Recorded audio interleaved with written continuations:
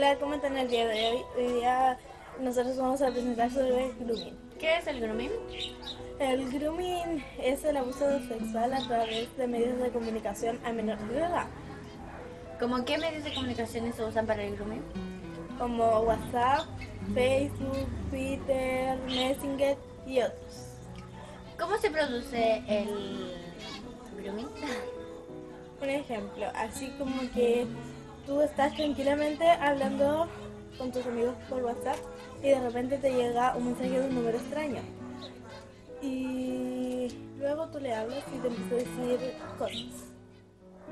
¿Cómo qué cosas? Bueno, las cosas que se dicen son em, empiezan a hablar tranquilamente y después como que él se toma todo en serio y empieza a preguntarles cosas íntimas de ella o decirle cosas íntimas o cosas que haga íntimas. Por ejemplo, mostrar, mostrarle sus cosas íntimas. Y empezar a decirle cosas. raras. Por ejemplo, sácate la ropa y él lo- es como una acción. Por ejemplo, le dice que se saque la ropa y él las graba. Y después la niña le dice que él también lo haga. Pero el niño dice el que no, niño que no, y dice que, que la, no. la va a chantajear. Y que la eso. chantajea para que.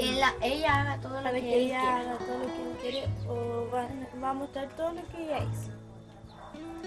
Eso.